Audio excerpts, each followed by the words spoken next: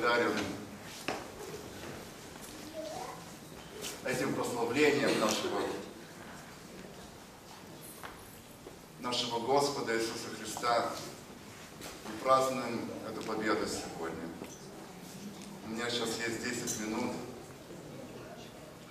сделать э, что-то такое, что невозможно сделать за 10 минут, но я постараюсь. Я хочу э, рассказать немножко о нашей совместной поездке э, молдавско-американской команды в Одессу. А, мы там провели 4-5 дней. А, мы доставили туда э, гуманитарную помощь, медицину, медицинскую помощь и кое-что для украинских солдатов. Нашей основной целью, конечно, было проповедовать людям о спасении, людям о надежде, говорить людям о Боге, который любит, любят их, который любит нас. Мы это делали в автобусах, троллейбусах, трамваях, на, на улице, на нескольких базарах, на железнодорожном вокзале. Мы ходили в центры для беженцев, где особенно люди были открыты на услышать о Слове Божьем, о спасении, о том, что Господь сделал для них, как любит Он их.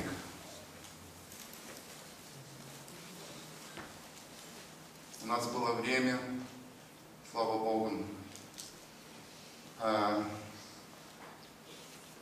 побывать в двух воинских частях и узнать о их нуждах, молиться с ними и мы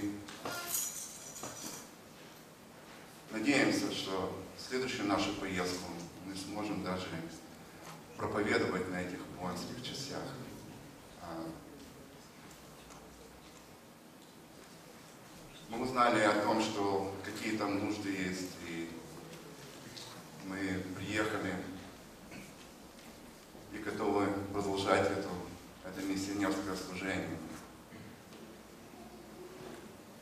Когда мы были там, там были воздушные тревоги, но одесситы так привыкли к ним, что мы не ходили никуда, ни в подвалы, ни в убежище. Но на следующий день, это было вчера, а после того, как мы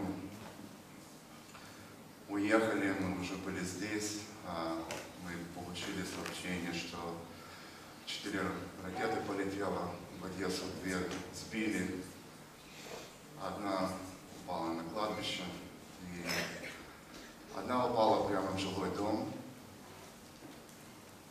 Это один квартал, где мы были. И мы проходили возле этого дома. А, люди погибли там.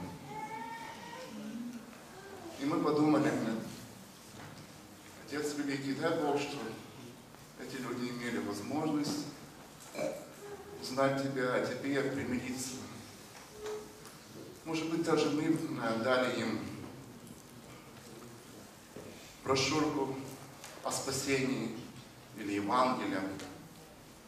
Может быть, мы проходили мимо этих людей там. И сегодня, когда мы уже приехали назад, наша американская часть команды, они решили сразу ехать обратно. Мы уже знаем о нуждах, уже э, сделали, э, передали эти нужды дальше, э, на запад. Миссионерская служба, она состоит из двух частей. Люди, которые едут в горячие точки, те точки, где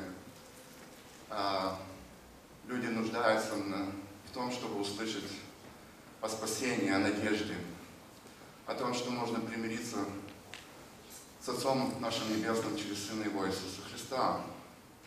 И вот это, в это время, сейчас, э, там ведется подготовка всего нужного для дальнейшего служения э, в этой миссионерской работе.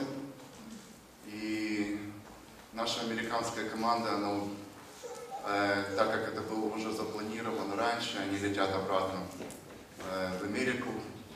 Э, и они летят в понедельник. Но уже в среду они будут сюда обратно. Уже в среду не только они будут сюда обратно, но еще люди будут ехать, еще другие миссионеры, потому что нужда велика. Мы знаем теперь, что им нужно. У нас в списке есть всего, что нужно. Мы знаем, что им нужно проповедовать любовь Господа нашего, спасение, потому что, может быть, у многих из них не будет достаточного времени. Сделать это нужно сейчас, делать это нужно в это время, когда что-то происходит в этом мире, прямо здесь, прямо у нас под боком, прямо у, наш, у наших соседей. В следующий раз, когда мы поедем, в следующий раз мы будем спускаться в подвал или в бомбоубежище и сидеть со всеми меня, кто будет там, и проповедовать Евангелие. Мы будем делать это, потому что мы считаем, что это самое лучшее, где можно жнецам, куда может быть самая благоприятная почва, земля для, для жатвы. Мы будем это делать. И мы все, все наши команды во имя Господа нашего Иисуса Христа призываем каждого из вас подумать над тем, призываем вас над этим и призываем вас в пятницу. Мы будем ехать обратно в Одессу. И кто хочет, может подойти ко мне и сказать, и мы будем говорить об этом. И мы будем ехать колонной, мы возьмем еще машины.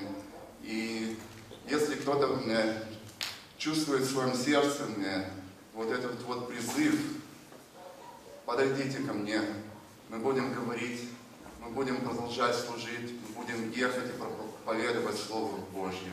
Мы будем вести все, что им нужно. Но самое главное, чтобы люди примирялись в это время, в это короткое время на этой земле. Слава Богу! Иисус воскрес! Иисус воскрес!